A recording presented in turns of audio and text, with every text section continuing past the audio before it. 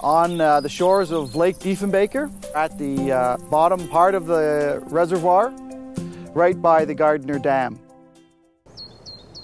We've been conducting our research on the reservoir since 2011. We're looking at the nutrients that are coming in from the South Saskatchewan River from Alberta.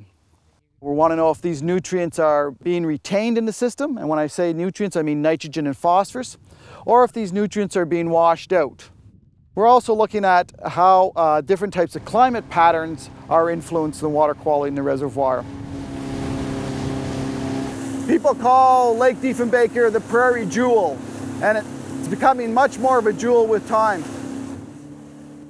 This is the best water quality we have in southern Saskatchewan. 60% of the residents of the province indirectly rely on this for drinking water. Officially, the reservoir is about 250 kilometers long. We're at the very end of it right now. This is the deepest location in the reservoir. We have about uh, anywhere between uh, 40 and 60 meters of uh, water column here to sample.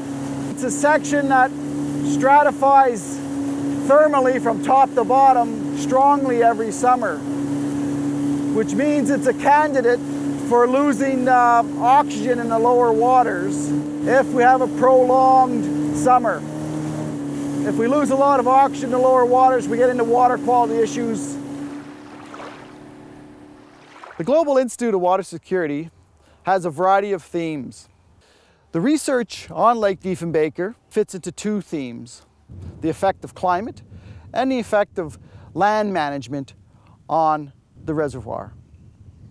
Both of these themes over time influence water quality. What we're seeing with uh, a changing climate across the globe is more frequent extreme events like the extreme flows that we are witnessing in this reservoir. Those extreme flows often are followed by high nutrient inputs and algal blooms and poor water quality. We need a better understanding of how these connections fit together. And then we'll be able to take this information and apply it to other semi-arid regions where there's other large reservoirs around the world. We've divided the reservoir up into a variety of sites, and at each site, once a month, we sample a host of water quality parameters. This is uh, called a Secchi disc, and uh, what we use this for is to determine the transparency of the water. And we do that by lowering this into the water to the point where we cannot see it underwater. If uh, the Secchi depth is half a meter before it disappears, that indicates relatively poor water quality. This is a Van Dorn water sampler. You lower it to the you know depth you want to collect water at. So what you're going to be testing for with the water is nutrient concentrations, uh, chlorophyll concentrations for algal blooms. If you're also interested in the biota, oh yes, you'd use this to collect uh, not only your phytoplankton, but you want to collect bacteria at a certain depth, uh, zooplankton. The nutrients will change depending on what depth you're at. So this thing is a water quality sonde. We have a, a, a, probe on here that detects the amount of algae in the water.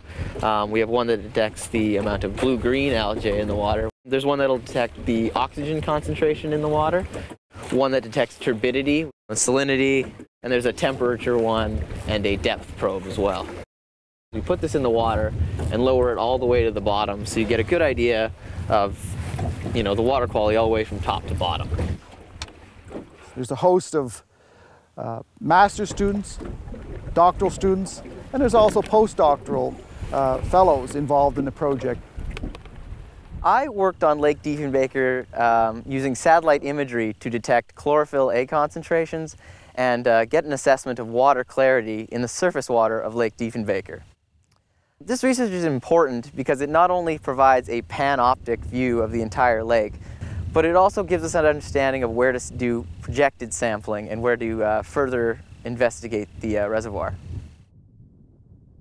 If we let a system be inundated with nutrients to the point where the water quality is so poor that it can't be used for irrigation, drinking water, and so forth, then we've lost a major resource. And to bring that resource back to us would be extremely expensive. It's always cheaper to prevent than it is to try to restore.